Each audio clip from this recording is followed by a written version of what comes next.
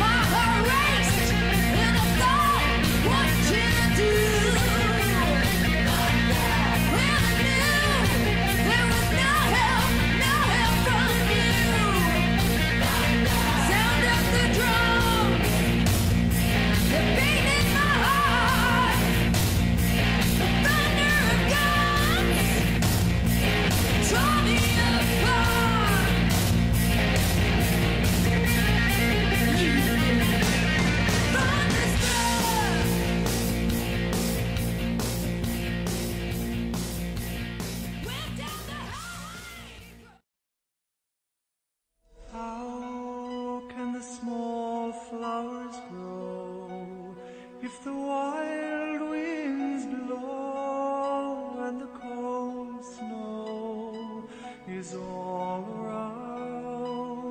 Where will the frail birds fly if their homes on high have been torn down?